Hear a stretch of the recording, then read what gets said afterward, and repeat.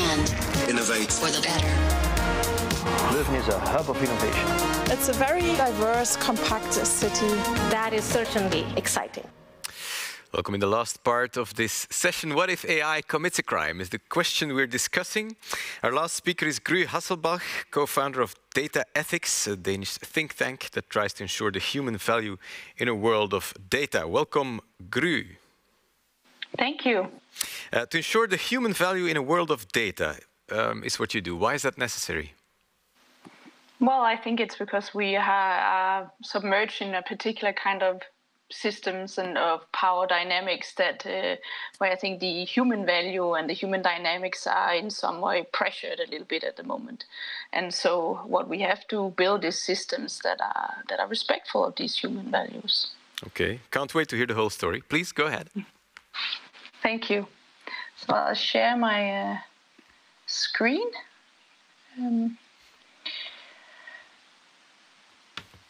okay. Okay, so I want to begin with two stories almost a century apart.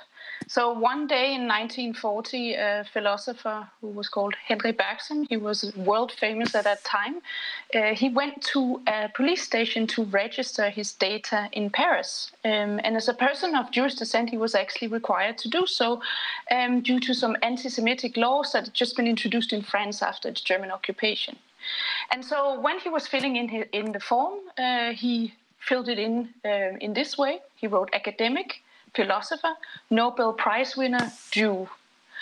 Now, uh, 80 years later, in 2020, in a completely different part of the world, another man named Robert Julian Borchak Williams, less uh, famous at that time, was arrested for a crime he hadn't committed uh, because of an incorrect match that was made between his face and that uh, of a criminal in a facial uh, recognition system. Now, systems like uh, this had in 2020 been used by police forces in the US for uh, more than two decades. Uh, and many of these had often been uh, shown to have ethnic uh, bias or, or were biased in different ways. And so, um, presented with a grainy picture of a of the criminal who was a black man like himself, Mr. Williams had to ask, So you think all black men look the same? So data, the data systems that we create to make sense of and organize and manage uh, our life and our society have always reinforced uh, power dynamics throughout history.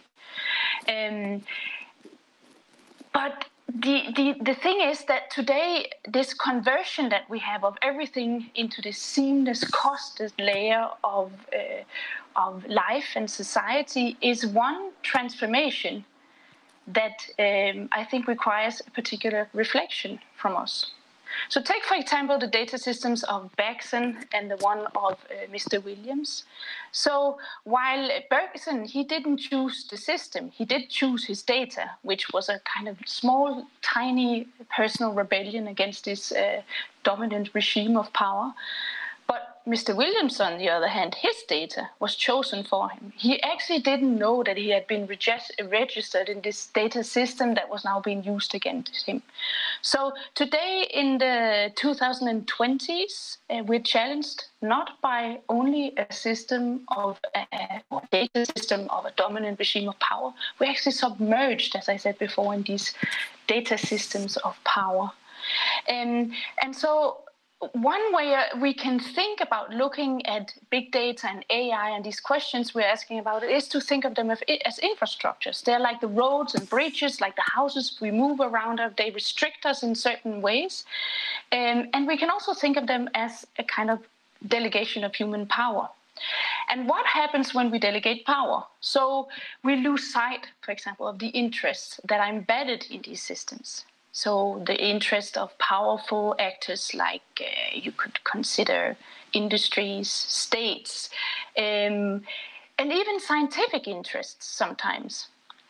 And I think in, in many, many times, what we accept is that these powers become invisible. And we accept a situation where the human interest very often has a very low uh, priority. Now, what does that actually mean? So think about, uh, for example, an AI robot that sees through images to uh, choose, and these images are all images of white people, for example, and chooses uh, what human beauty means, deciding what human beauty means. Or think about uh, an online search system that learns from news articles uh, to, um, to, for example, recognize words like nanny and receptionist as female, or words like architect or director as male, or even try to remember this. Uh, the details of this mass surveillance system that was uh, actually enabled by social networking sites and uh, personal data that they held of millions of people. So data systems like these, um, or the one that Mr. Williams encountered, used to be silent and invisible. But uh, we are increasingly seeing with the data leaks we've seen, we've seen uh, revelations of intelligence systems that are going through this data, different uh, stories like the one of Mr. Williams, for example, his encounter with a biased uh, facial recognition system, or the students in the UK that encountered the Ofqual algorithm. Now, increasingly, we have been faced with some of the problematic ethical implications of these systems, and we're reacting. So we see citizens and consumers all over the world that are simply not just concerned, but they're actually starting to act. They're choosing different services, different products, they're using ad blockers to stay in control.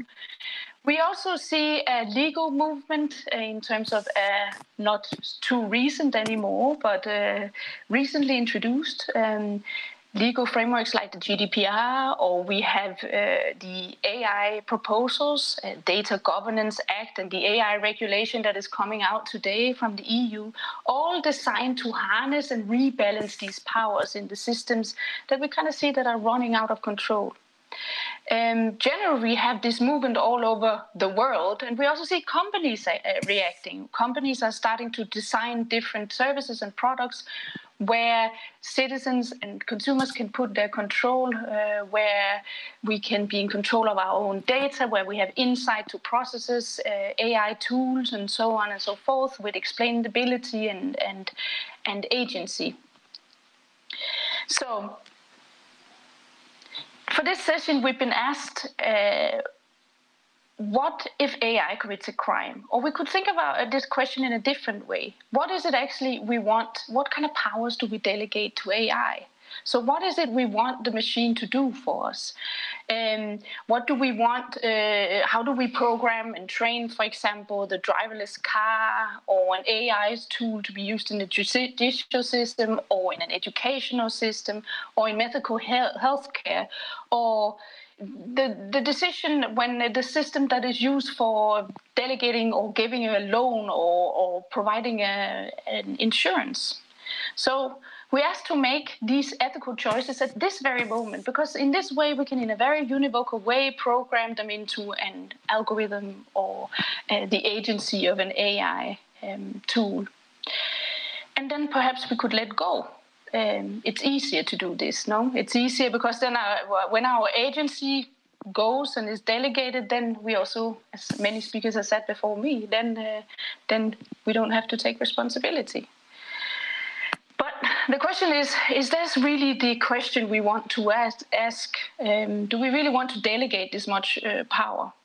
Of course, I don't think so. Uh, I think that the key question we want to ask is a different question. We want to ask is um, what is it the machine should do for us? How should they uh, complement our human environments? Um, how can they help us making decisions? Uh, not how can they replace our decisions or how can they take responsibility away from us? So, of course, power should always be human and responsibility should always be human. And how do we do this in very concrete ways? So uh, we could think of design of uh, AI that is uh, considering as a priority the human in command.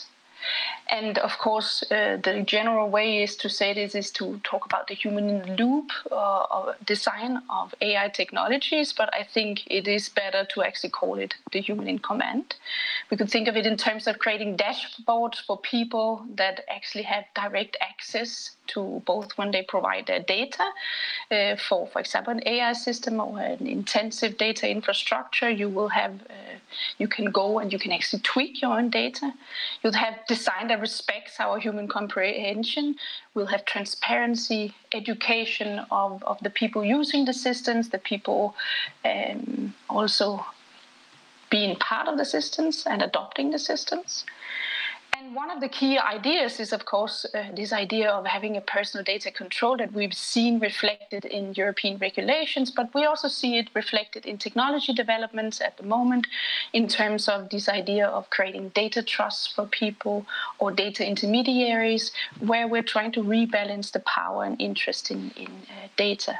Generally, the whole idea of having a fair benefit sharing, where it's not only a complex data processing system like an AI system, that deals with our data, but we actually have insight and access to it to take control of the decisions that are made about us and for us.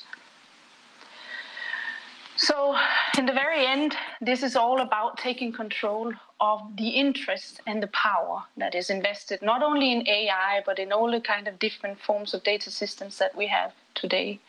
And the key is, of course, uh, that the way we can only do that is by staying in control and, and, regaining the human power. So we can think of data as a resource, for example. We can look at an AI system and we can think of who or what provides the data resource. We can think of it um, in a way that uh, where instead of having only the big corporates or the states behind or the scientists behind, but we'll have actually humans benefiting from the data that they provide for these uh, systems. Think about data in general as not just this, uh, or an AI in general, as not these neutral, uh, unpolitical tools, but as forms of power that we distribute through these systems.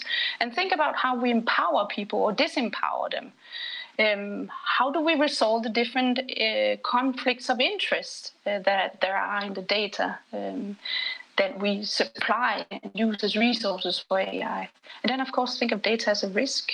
So it might uh, not only be a risk to contain and hold too much data for a company or government, but it's also a risk for all the rest of us that uh, the data is being used for. So generally, remember that data ethics is power, we have to use it wisely, wisely, and most importantly, we have to think of data ethics as a way to set the priorities for what role we want uh, AI and data systems to play in our life. Generally, to think about um, how much human power do we delegate to these systems. Thank you.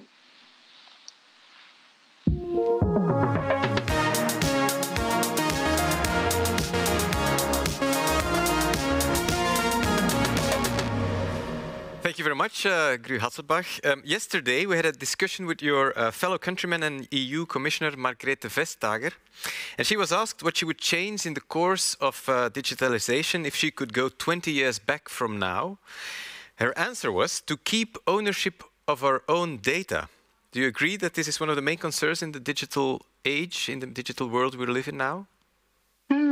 I think it's it's a that's a very also philosophically and in many and legally it's a, a complicated. Um, it depends on how you think of uh, ownership of data. So you, I would probably rather use the term to stay in control and use it as a form of power and consider it as a form of power, as I said. And when you consider data as a form of power, then you will automatically think who uh, has an interest in this data, and the individual human being, of course, has an interest in this data. And so we have to create data infrastructures and AI tools that understands that this they dis, that, that the, they dis, distribute power. So we have to have some kind of symmetry. I think the whole question about uh, ownership is actually uh, a very complicated way to think of data. Yeah. Do you think um, normal citizens have enough control over, over their own data? Not at all. No, at all. I think uh, that was pretty clear from my talk. I think we're at a, I think we're at a stage right now, and we are starting to reclaim the control. Um, I think that generally what we've seen in some of the examples that I've given is that there are some powerful interests that have uh, been given priority or has taken priority in the way that our technical environments are being developed. But luckily, as I also said, we also have a movement among citizens and among policymakers, at least in Europe, we see a, a movement where we're trying to regain uh, this kind of control and create more democratic infrastructures. Um, Nell Watson has also been listening to your speech. Uh, she's got one more last question for you, Nell. Thank you very much. I I just wondered, Gry, what you make of the uh, the FLoC, Federated Learning of Cohorts, FLOC. Um, there's quite a hot debate at the moment about that technology, um, which Google reckons will enable you to aggregate the different features of people into a group and thereby retain privacy. But on the other hand, other people are afraid that they will get put into some sort of cohort that doesn't reflect them and they might be discriminated against. I'm just curious about your opinion if you have one. Well, I have an opinion about, uh, you know, generally I'm always suspicious of uh, any kind of technologies like that. Um, if if the interests are not transparent enough. So I understand that there is a there's a there's a there's a kind of negotiation between the the privacy interest and the company interest and the interest of uh, people who are afraid of being part of a platform and I and I don't think that the, that whole debate is transparent enough eh, regarding which interests will be prioritized in this. So I, it, there's always this contrast between if you want to create a system that uh, create a certain level of uh, privacy, then do you have also considered other kind of values, just uh, like uh, non-discrimination and uh, or explainability, for example. Uh, I don't think it's clear enough from that example which interest is prioritized. Do you agree, uh, Nell Watson? Do you have an opinion about that? I, uh, I, I, think I think I, I, I mirror um, the same perspective in many ways. Um, it's it's always healthy to have a little bit of suspicion um, about the motivations or incentives behind some new technology. Um, but uh, you know, it's not the first time that we've seen federated learning used before in order to protect privacy. It's been deployed in the context of uh, Google Maps, etc., when aggregating people's movement data. Um, I think there are ways that we can use these kinds of technologies to improve people's privacy. But I think that there hasn't been enough work done yet on improving transparency about what kinds of FLoC cohorts one might have been um, placed into. I yeah. think that's one of those areas that's so important right now. I see you agree uh, on that. Uh, thank you so much, Nell Watson and uh, Gry Hasselbalch. So, I hope uh, the question, what if AI commits a crime, has been sufficiently answered, and if not by that time, AI perhaps has an answer by the next END Summit, who knows. Next up, a question about robotics. See you there and innovate for the better. Leuven is a hub of innovation. It's a very diverse, compact city. That is certainly exciting.